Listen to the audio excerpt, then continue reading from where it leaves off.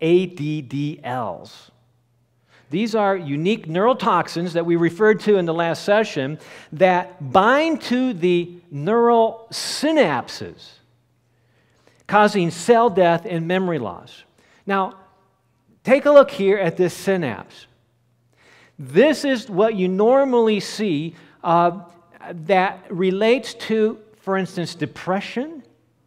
When people have depression or anxiety, they're frequently encouraged to take a serotonin reuptake inhibitor that works right here at the synaptic level, right between where the, where the nerves meet.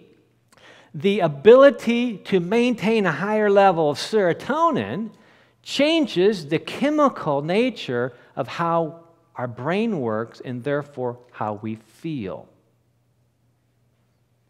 Now, if a medication can change how we feel at the synaptic level, that means that there's a physiology naturally in place that, if properly understood, could be, could be manipulated with natural chemicals as well right?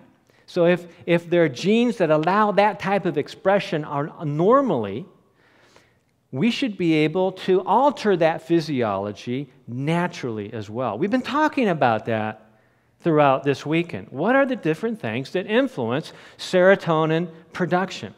So, but it is here at the synapse of the brain nerves that this neural toxin, this this protein that damages the nerves, it, it interferes with that process. It begins blocking that activity. And in doing so, causes disruption of the cell, leading to death of that cell, and then loss of the memories associated with that pathway that we had created at some time in the past.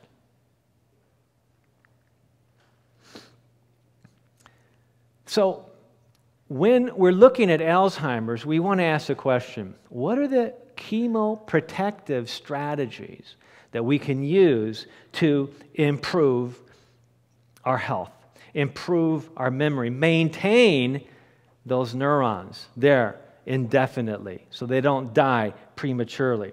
So, the researchers from Northwestern University and other centers found that just small amounts of this extra virgin olive oil, this oleocanthal chemical that's found in extra virgin olive oil, was able to target these neural toxins, these ADDLs, and stimulate antibodies to more effectively fight against them.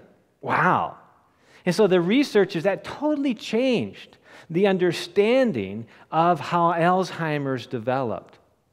And so, over the last 10 years now, more therapies have been targeting looking at what they learned from the book of nature, what they learned from understanding the chemical power of extra virgin olive oil.